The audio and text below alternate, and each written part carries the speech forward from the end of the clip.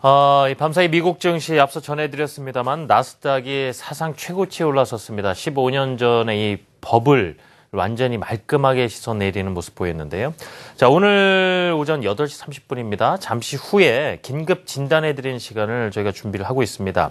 아, 나스닥이 사상 최고치를 돌파한 가운데 아, 코스닥의 불안 심리도 진정이 좀 될 것인가라는 내용으로 준비했으니까요. 8시 30분 긴급 진단 코너 많은 관심 가져주시기 바랍니다. 아, 바로 이 글로벌 시장에 속속들이 나온 이야기들을 하나씩 진단해 드리겠습니다. 명민준 그리고 김나연 외신 캐스터와, 어, 캐스터와 함께 하겠습니다. 어, 명준 캐스터, 어, 미국 증시 상황부터 확인해 볼까요? 3대 지수 모두 상승하며 마감했는데요. 나스닥 지수 상승에 눈길이 갑니다. 아, 외신에서들도 상당히 재미난 표현들 많이 쓰고 있던데 하나씩 들어보죠. 네, 뉴욕 증시 오늘 경제 지표는 부진했지만 증시는 또 반대로 움직였습니다. 특히 나스, 나스닥 같은 경우는 닷컴 버블 이후 15년 만에 사상 최고치를 기록을 하면서 5,056포인트를 기록했고요. S&P 500 지수 역시 장중에 2,120포인트까지 상승하면서 사상 최고치가 코 앞에 와 있었지만 상승세가 꺾이면서 2,112포인트로 마무리했습니다. 자, 오늘 하루 흐름 함께 살펴보겠습니다. 코스닥이 나스닥을 닮아가면 좋겠다라는 바람에서 이 나스닥 일중 함께 대해서 좀 살펴보도록 하겠는데요. 이 고점 부근에서 마감을 했습니다. 오늘 실적이 대부분 좋았는데요. 이베이와 AT&T 등 실적 호조를 보였습니다. S&P 500 기업들 중에 70% 이상이 이 주당 순이익이 예상치를 상회하는 호조를 보이, 면서 증시가 또 탄력을 받는 모습을 보였습니다. 하지만 실적이 부진한 기업들도 있었습니다. 이 다 아시는 제너럴 모터스, 뭐 프록터 앤 갬블, 펩시 같은 경우는 이 강달러 영향을 그대로 받으면서 매출이 또 감소하는 모습을 보였고요. 하지만 경제 지표 같은 경우는 일제히 부진했습니다. 미국의 4월 제조업 PMI 같은 경우는 54.2로 3개월 내 최저치를 보였는데요. 이런 제조업 PMI 부진 미국뿐만이 아닙니다. 아, 글로벌적으로도 전 세계적으로도 제조업이 조금 둔화되는 모습 모습을 보이고 있는데요. 어, 전 세계적 제조업 PMI 그래프를 좀 함께 살펴보도록 하겠습니다. 그래프 함께 좀 살펴보실까요? 네. 그래프를 좀 함께 살펴보시면 일본과 중국, 프랑스 같은 경우는 아, 수축 기준선인 50을 또 하회하는 모습을 보이고 있고요. 일본, 중국, 프랑스 외에도 이 독일 같은 경우도 글로벌 제조업 PMI가 조금 안 좋아지는 모습을 보였습니다. 아, 3월 진, 신규 주택 판매 같은 경우는 11% 감소, 이 4개월 내 최저치를 기록을 했고요. 신규 실업수당 같은 경우도 이 고용 호조가 계속 지속된 것으로 판단이 되고 있습니다.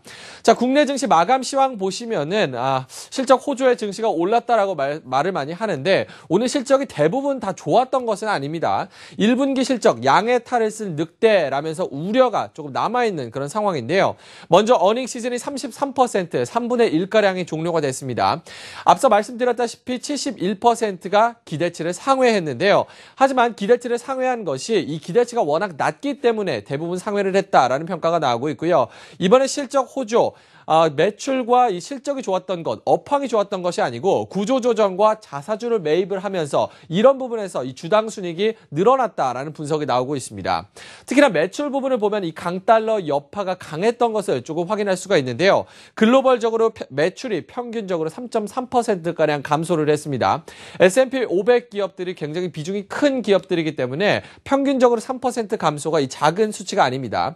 이로 인해서 앞으로 전망도 계속해서 부진할 것이다. 라는 의견이 나오고 있는데요. 특히나 강달러와 저유가로 2분기의 예상치를 줄줄이 하향 조정하는 증권사의 아, 움직임이 포착이 되는 모습이고요. 이런 어, 전망 둔화세가 앞으로 두 분기 혹은 세 분기 동안 계속해서 둔화될 것이다라는 안 좋은 부진한 전망도 나오고 있습니다. 자, 기업 실적 대부분 예상치를 상회를 했지만 아, 앞으로의 실적 부진 조금 둔화세는 이어질 것이다라는 게 좀 외신들에서 나오고 있는 상황입니다.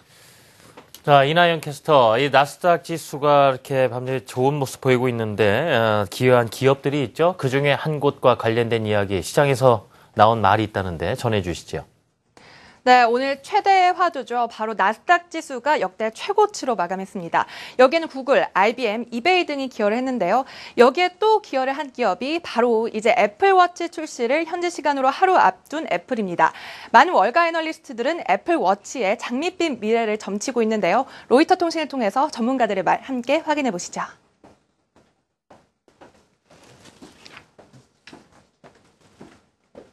But I think the big differentiator here is the platform side of this and the apps. Think about your phone and not having any apps on it. That's the way the smartwatch market is today. Apple's got an opportunity really to elaborate and to encourage developers to build a lot of The Apple Watch untethers me from my iPhone the way that the iPhone untethered me from my PC. You know, I didn't need to sit in front of my Mac or my PC to do all these interesting things with computing when the iPhone came out. And now the idea that I can get some bits of all of that, whether that's through the applications, um, through the notifications, now to my wrist is actually quite nice. So I even find myself, I don't use my phone quite as much when I'm home, but I'm not going to miss anything. 전문가들은 그동안 많은 스마트워치가 있었지만 소비자에게 어필하는 스마트워치는 애플워치일 뿐일 것이다 라는 말을 하고 있는데요. 특히나 앱 구축의 정교화를 통해서 다른 스마트워치와는 뚜렷한 차별성을 가졌다라는 분석입니다.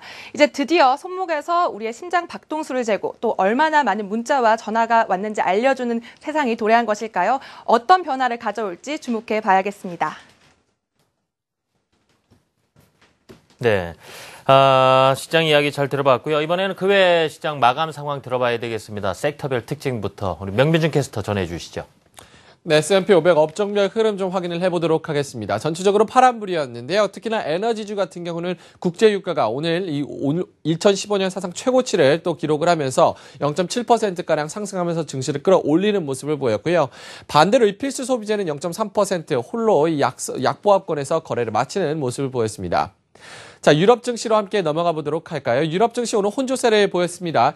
런던 증시 같은 경우는 상승을 했지만 이 사상 최고치 부담이 있던 이 독일 같은 경우 1.2%대 하락하면서 마감했습니다. 프랑스도 0.6% 하락하면서 5,178포인트를 기록했고요. 남부유럽도 또한 혼조세를 보였습니다. 그리스 1.7% 변동성이 최근에 큰 것을 좀 확인하실 수가 있고요.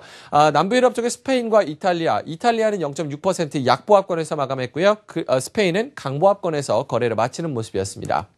자, 상품 시장으로 넘어가 보도록 하겠습니다. 상품 시장에서 오늘 국채 수익률 2%대 마이너스를 기록하면서 1.94% 수익률로 다시 떨어지는 모습이었고요. 달러화 같은 경우는 소폭 약세를 보였습니다. 그리스의 디폴트가 조금 완화될 것이다라는 전망이 나온 이후에 또한 미국 경제 지표도 부진하면서 달러 약세를 이끌었는데요. 달러 인덱스가 97레벨 대 중반까지 내려온 상황이고요. 엔달러 환율도 119엔대 중반을 기록하고 있습니다. 자, 오늘 국제 유가 2015년 금년 사상 최고치인데요. WTI가 뭐 예멘발 지정학적 불확실성이 높아진 데다가 이 국제 에너지 기구가 전 세계적으로 원유 수요가 늘어날 것이다라는 전망을 내놓은 이후에 유가를 좀 끌어올리는 그런 모습이었습니다. 브렌트율 64달러 선 후반까지 왔고요. WTI는 57달러 선 이 후반 후 중반까지 온 상황입니다. 네, 바로 이어서 오늘의 SNS 들어보죠. 아무래도 나스닥 15년 전과 비견 이야기들도 많이 나오고 있고요. 이나영 캐스터 어떤 내용들이 와 있습니까? 네, 오늘 사상 최고가로 마감한 나스닥에 대해서 많은 전문가들이 트윗을 남겼는데요. 그 중에 두 개만 함께 살펴보도록 하겠습니다. 먼저 USA 투데이 편집장 어, 앤 위리어트의 트윗입니다. 뜨거울 순 없다. 이보다 더 핫할 수는 없다라고 트윗을 남겼는데요. 같이 첨부한 표를 보시면요. 나스닥 지수의 상징적인 포인트들 한눈에 볼 수 있습니다. 나스닥 지수가 출범한 1971년 이후에 99년 12월에 4천선을 돌파했고요. 나스닥 닷컴 버블이 한창이던 시절 5천선을 돌파했는데요. 이제 15년 만에 그 기록을 깬 것입니다. 또 폴린 차우 CNBC 앵커는 이에 대해서 과연 이번엔 2000년대와는 다를까라는 물음표로 트윗을 남겼습니다. 2000년 닷컴 버블 당시 버블이 터지면서 2년도 안 돼서 나스닥 지수는 5분의 1 수준으로 무너졌었는데요. 실제로 2000년에서 2002년 나스닥 버블 사태 이후에 많은 전문가들은 다시는 그때 그 수준으로 나스닥 지수가 돌아가지 못할 것이라고 예상을 했었습니다. 하지만 15년 만에 당시 그 선을 넘은 것인데요. 월스트리트저널은 이에 대해서 나스닥 지수의 편입 종목들이 2000년 이후 많이 변화했다면서 특히 바이오테크놀로지 업종들의 고공행진이 돋보인다라고 말했습니다. 이어서 다음 트윗으로 넘어가 보겠습니다. 장 마감 후에 아마존의 실적 발표가 있었는데요. 주당 순이익은 순 손실을 기록했지만 매출이 15%나 증가하면서 시간외 거래에서 7%나 급등세를 보였습니다. 스탁 트위츠도 아마존의 이 같은 매출 호조로 시간외 거래에서 급등세를 보였다는 것에 주목하는 모습이었는데요. 특히 클라우드 사업 분야에서의 호조가 매출 증가를 이끌었습니다. 아마존은 아마존의 클라우드 사업부인 아마존 웹 서비스 매출을 처음으로 공개했는데요. 매출이 전년 대비 40 49%나 급증하면서 호조를 보인 것입니다. 이에 대해 이코노미스트는 이제 클라우드 컴퓨팅이 발전했다라고 트윗을 남겼는데요. 전문가들은 이제 이 클라우드 컴퓨팅의 가격이 계속 떨어지면서 전체 세계 IT판을 바꿔놓을 것이란 분석입니다. 그동안 클라우드 컴퓨터에 소극적이었던 우리 국내 소프트웨어 업계들도 점점 눈을 돌리고 있는 모습인데요. 이제 계정만 있으면 데스크탑, 태블릿, 스마트폰 등 어떤 기기에서나 공유할 수 있는 그런 시대가 도래한 것입니다. 자, 명민준, 이나연 캐스터 이번 주도 수고 많으셨습니다. 잘 들었습니다. 고맙습니다.